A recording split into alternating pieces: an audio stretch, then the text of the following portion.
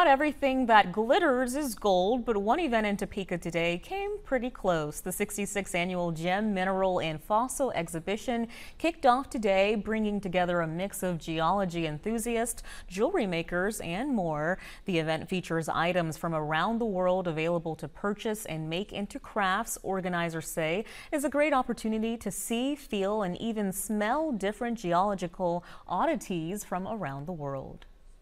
Club has been around since 1948. Every year we do this. We have multiple vendors, a lot of activities for kids, uh, a lot of educational things. We hope people leave knowing a little bit more than maybe they did. The exhibit will continue through tomorrow at the Stormont Vail Agriculture Hall.